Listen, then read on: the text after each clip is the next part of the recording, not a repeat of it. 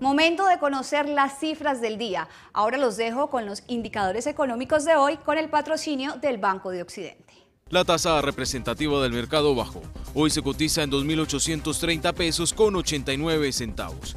La venta del dólar en casas de cambio también se cotizó a la baja. Hoy se registra en 2.770 pesos y se compra a 2.735. El precio internacional del café subió. Hoy se cotiza en un dólar con 43 centavos la libra. El euro subió. Hoy se cotiza en 3.490 pesos. La VR continúa su camino al alza. Hoy se cotiza en 253 pesos con 34 centavos.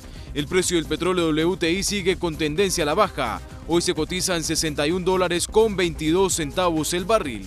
Y el precio internacional del azúcar subió. Hoy se cotiza a 14 centavos de dólar la libra.